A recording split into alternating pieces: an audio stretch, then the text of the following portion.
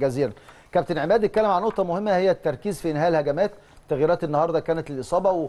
والتوقف الدولي اللي جاي فرصة للنادي الأهلي لالتقاط الأنفاس. اتكلمنا عن التوقف الدوري الدولي يا أسامة وهو اتكلم على جزء مهم. الأول هندي راحه للعيبة يشوفوا اهاليهم يعني محتاجين يريحوا ياخدوا نفس كده هنتكلم بقى ذهنيا. بداية الدوري. كده انت بتتكلم على جزء ذهني كويس راحة اللعيبة عيش حياتك بدون ضغوط بدون مباريات بدون تمارين يومين ثلاثة وبعدين يرجع.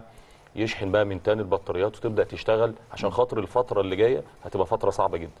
وفيها ضغط مباريات وهتحتاج لكل اللعيبة وعلى طبعا على كولر إن هو يجهز كل اللعيبة للفترة اللي جاية. اتكلم برضو على أداء اللعيبة والفريق في مباراة سيراميكا واتكلم خاصة على الشوط الثاني وتنفيذ التعليمات لأن هو برضو اتكلم على الشوط الثاني لمباراة زد. على عدم تنفيذ بعض التعليمات.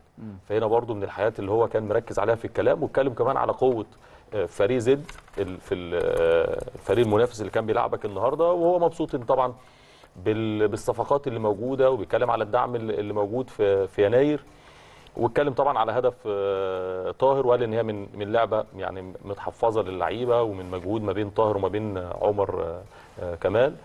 واتكلم برضو على يوسف أيمن والساعي بالنسبة إن هو لعيبة جديدة اشرف داري لسه ما تأقلموش مع مع مع الفريق. فتوتال الكلام الشكل العام لوشه بس إن هو تحس إن هو يعني بيتكلم مش مبسوط.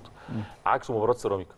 مباراة سيراميكا النتيجة الكبيرة كان بيتكلم هو مبسوط و و و وفخور أكتر بأداء فرقته آه النهارده نوع من أنواع من أنواع عدم عدم الرضا. وده وده برده مطلوب. وهيوصل أكيد للعيبة لو ما كانش النهارده لما اللعيبة تروح المنتخبات وترجع لك مرة ثانية هتبتدي بيه خاصة هو من المدربين اللي بيحب دايما برضه يا أسامة المحاضرات وبيتكلم مع اللعيبة وبيتكلم على الأخطاء كل حاجة زي ما مدروسة جوه النادي الأهلي سواء بمحاضرات فيديو سواء بمحاضرات نفسية بدعم للعيبة في الفترة اللي جاية لأن الفترة اللي جاية صعب إن أنت تأدي شوط بالشكل ده مثلا ده آه أنت محتاج 90 دقيقة أو تأمين المكسب. يعني هدف لا أنت تأمين المكسب دايما هيبتدي من آه بعد هدفين. كمان آه. اللي هو آه. قال لك من الإيجابيات إن إحنا حتى ما اديناش فرصة للمنافس فرقة فرقة كويسة لكن ما كانش عندهم فرص, فرص كبيرة للتهديف. يعني فرص خطرة ما فيش بشكل كبير يعني. في الملعب اللعيبة واقفة صح. آه يعني آه يعني هو اتكلم على ديت كمان بشكل فهم. جيد جدا رغم إن هو الأداء مش آه. مش عاجبه قوي لكن كمان بيتكلم إن إحنا ما كانش في فرص خطيرة قوي لفريق زد على مرمى الشرطه